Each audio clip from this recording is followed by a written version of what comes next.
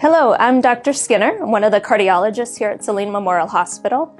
And February is American Heart Month, so I wanted to take this opportunity to talk about cardiac arrest and what that means, and also to show you how to use an AED. So, for those who don't know, cardiac arrest is when the heart stops beating, or essentially when someone goes unresponsive um, from a dangerous heart rhythm. And in that situation, the blood is not circulating to all the vital organs, such as the brain. One of the causes of cardiac arrest is a heart attack. The two most important things when someone goes into cardiac arrest is early initiation of chest compressions only CPR and also having access to an AED. So chest compressions are essentially what is going to help circulate the blood when the heart is not beating um, and help perfuse those vital organs. And the AED can also provide step-by-step instructions on how to do CPR and what to do next, but also help shock an irregular, dangerous heart rhythm. So let's just say someone in front of you um, goes into cardiac arrest. What may happen is they go unresponsive, they fall to the ground, you notice that they have stopped breathing, and then they have no pulse.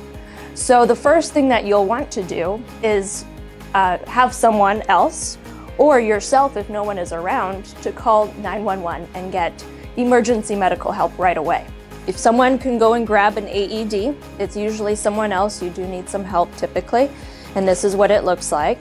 So as someone else again is doing those chest compressions, so all you're gonna do is press that power button and then open the device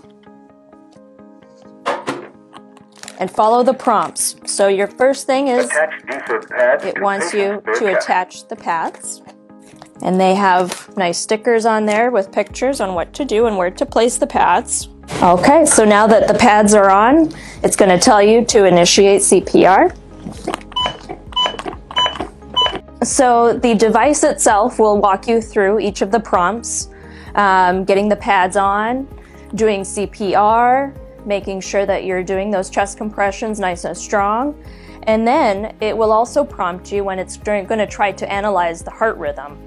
And um, if there is a dangerous heart rhythm that led to the cardiac arrest, or at some point the patient has that dangerous heart rhythm, it's going to let you know that it's going to want to deliver a shock.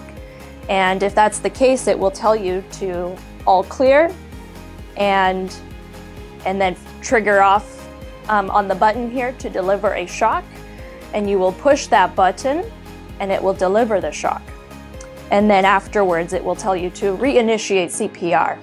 And essentially you're going to continue this until uh, emergency medical services is able to take over. So again, time is really important in a cardiac arrest situation. And doing early CPR and having access to an AED is extremely helpful to have the best outcomes possible in a cardiac arrest situation. And really the ultimate goal is to get that person as quick as possible to the hospital.